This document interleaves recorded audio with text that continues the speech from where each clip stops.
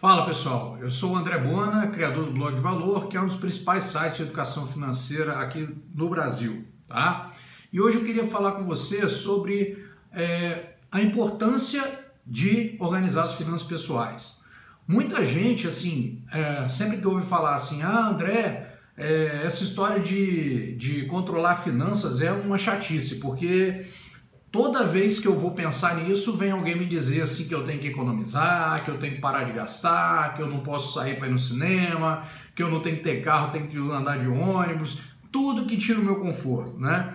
E aí fica esse dilema de que controlar finanças é coisa de pão duro, é coisa de gente que é apegada a dinheiro, é coisa de gente que acha que dinheiro é a melhor coisa da vida, é a única coisa que importa na vida, e isso não tem nada a ver, isso é balela, isso é absolutamente uma balela.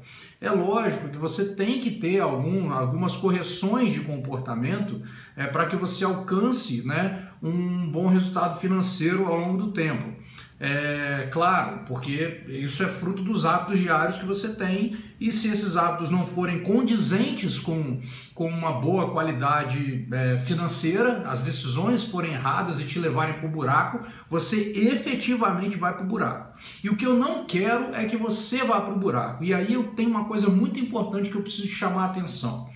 Quando a gente se propõe a trabalhar de maneira organizada, com as finanças organizadas, é, e, com, e com um bom comportamento financeiro, não significa que a gente não queira gastar, ou não vai gastar, ou vai abrir mão de qualidade de vida, ou vai abrir mão de luxo, não é nada disso. Inclusive, o segredo que eu tenho para te contar é o seguinte: é totalmente o contrário disso.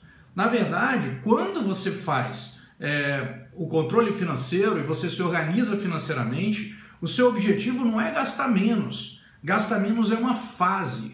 O seu objetivo é gastar mais e sempre. E é isso que um controle de finanças pessoais te permite. Ué, mas que história é essa? Você pirou, André? No seguinte sentido: se você tem as suas finanças pessoais organizadas, sempre você vai ter uma geração de fluxo de dinheiro livre para você usufruir na sua vida. Então você sempre vai ter condições de guardar dinheiro, se precaver, planejar o futuro e também de consumir, de usar no seu dia a dia, de passear, de ir no cinema, de ir no cinema com a cadeira bacana, com garçom, um serviço um pouco de mais qualidade e assistir um show, fazer uma viagem, coisas da vida real. Então, toda vez que alguém falar para você que finanças é coisa de pão duro, que é coisa de gente que não quer viver, não, é o contrário. Quem quer e se dedica a acompanhar e controlar as suas próprias finanças pessoais, na verdade ganha de prêmio por isso a possibilidade de gastar mais e sempre porque sempre vai ter um fluxo de caixa positivo que vai permitir uma qualidade de vida melhor. Quem controla as finanças tem mais liberdade, porque não precisa ficar escravo do dinheiro, não precisa ficar escravo daquele trabalho que ela, que ela realiza, porque ela tem a possibilidade de organizadamente mudar de carreira, fazer uma série de outras coisas que ela queira fazer.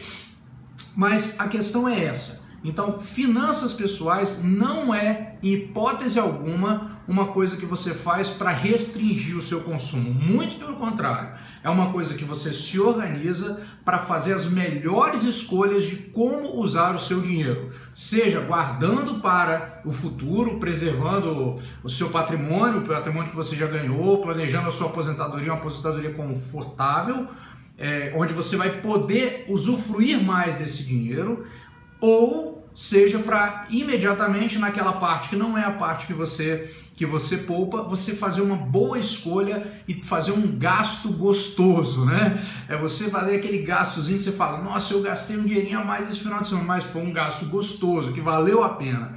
Então é isso que tem que ficar na sua mente. Então, o objetivo de controlar as finanças e ter hábitos financeiros positivos é esse é você poder gastar mais com tranquilidade e sempre, não apenas em pequenos momentos que depois você tem que passar anos e anos e anos correndo atrás da, do, do, do prejuízo, né? Beleza? Então é essa a mensagem que eu queria deixar para você. Se você quer organizar suas finanças pessoais, você vai ter muito mais qualidade de vida. Valeu, um grande abraço e até o próximo vídeo.